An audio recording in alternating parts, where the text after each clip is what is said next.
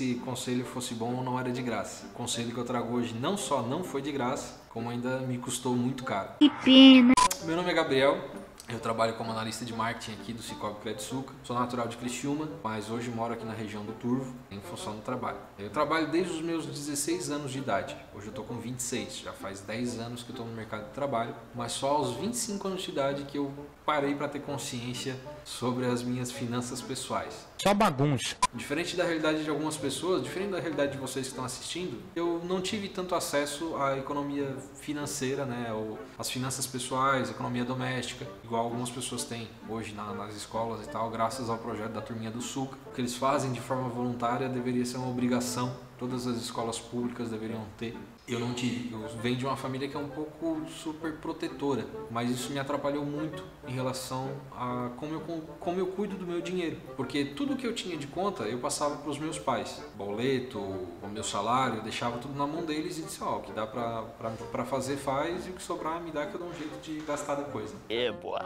E aí vivia meio que na sombra da, da, do cuidado que eles tinham comigo, mas isso me bloqueou em muita coisa, principalmente em como eu vou coordenar a minha vida, né? Como eu venho a coordenar a minha vida algum tempo depois. Em 2020 foi um ano que muita coisa aconteceu. Junto do que seria a pandemia que apareceu aí, apareceu para mim também, comecinho ali uma doença na tireoide que eu acabei engordando aí cerca de 40 quilos. Junto disso também algumas outras coisas, né? Principalmente comecei a ter um pouco mais de independência financeira, consegui um emprego pagar um pouquinho melhor, mas eu não tinha domínio sobre meu salário. E aí aconteceu essa situação da doença, eu comecei a, a ter um pouco de medo de tudo, porque vai que eu preciso fazer um tratamento, vai que eu preciso comprar alguma coisa e eu não tenho dinheiro. Tudo que eu vivi até os 25, 25 anos de idade em relação ao meu trabalho, eu guardei pouquíssimo. Apesar de ter o meu carro, apesar de pagar a faculdade, tinha uma certa dificuldade em fazer o dinheiro permanecer na minha conta. Porque às vezes, quanto mais jovem a gente é, mais que fazer coisas a gente quer fazer, né? E aí,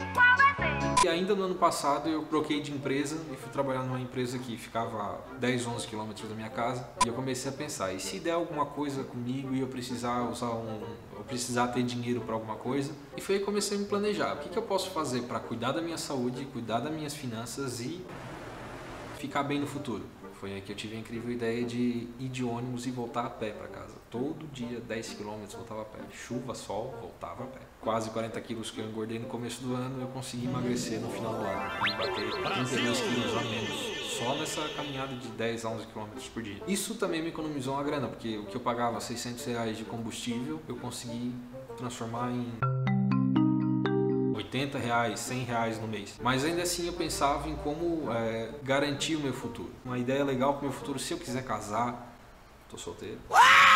Uma viagem, se eu quiser comprar um carro novo, se eu quiser comprar qualquer coisa, como é que eu, da onde que eu vou tirar dinheiro? A faculdade, eu pagava em torno de 1.400 por mês. Isso é um valor meio alto, né, para um jovem que ainda está estudando e eu tinha que pagar integral e eu que dava conta da, da minha faculdade, eu tinha que pagar a faculdade. Terminei a faculdade, paguei os quatro anos, tudo certinho e percebi que aquele valor que eu tinha de, de mensalidade da faculdade eu poderia continuar, porque se eu conseguir me manter naqueles quatro anos com aquele valor, consigo manter mais algum tempo pagando o mesmo valor para me garantir alguma coisa no futuro. Mas como eu sei que provavelmente eu ia gastar o dinheiro, se eu tivesse acesso a ele eu ia gastar, ou talvez não todo ele, mas ia guardar menos, eu procurei uma outra saída. Entre razões e emoções, a saída. Por sorte eu um colega meu comentou antes de eu trabalhar né, com a, com a Credsuca sobre a existência de um consórcio. É, como é que funciona o consórcio, qual a serventia que ele tem, o quanto isso é bom para nossa vida e tal.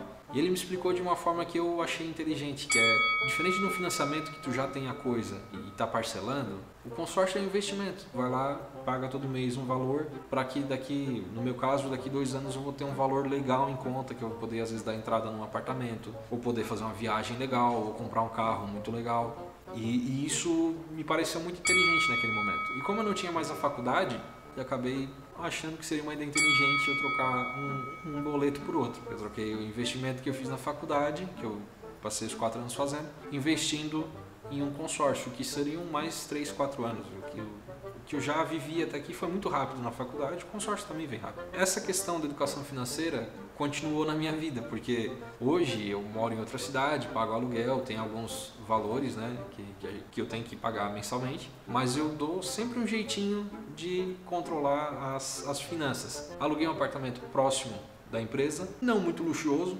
comprei os meus próprios móveis, tenho lá todo o conforto que eu preciso, mas não preciso usar o carro para vir trabalhar, o que já, é, já facilita muito a minha vida. Né? Eu, o que eu gasto de combustível, eu gasto para às vezes ir no mercado comprar alguma coisa, às vezes vou a pé também, ou para visitar meus pais no fim de semana, né? Porque a saudade bate, a gente tem que dar uma visitada. Pela cara de se eu tivesse acesso, né, e é, aí eu volto lá no começo no que eu falei, eu gastei muito dinheiro, gastei, não investi. Se eu tivesse um pouquinho mais de noção de finança pessoal, finança doméstica, eu talvez teria ido um pouquinho mais, mais longe nesse momento. Por sorte, ainda deu tempo de reverter a situação. O conselho que eu daria é estudem pelo menos um pouquinho, né? seja acessando o canal da Turminha do Sul, aprendendo sobre educação financeira, percebendo que há possibilidade de a gente garantir o futuro da gente começando agora devagarzinho. Né? Não precisa ser lá na frente e às vezes atropelar tudo, como foi no meu caso, e às vezes passar o perrengue que não, não era necessário. Certa indignação. Então, galera, essa foi a minha história. Espero que vocês tenham gostado. É um conselho que eu dei que eu espero que vocês não vivam o que eu vivi e que vivam de uma forma melhor. Mas se gostaram da história, se não gostaram, deixem nos comentários, avisa que daí a gente melhora aí com o tempo. Mas fica a dica aí, se inscreve no canal da Turminha, compartilha com a galera e precisando de alguma coisa, a Turminha do Suca tá aí.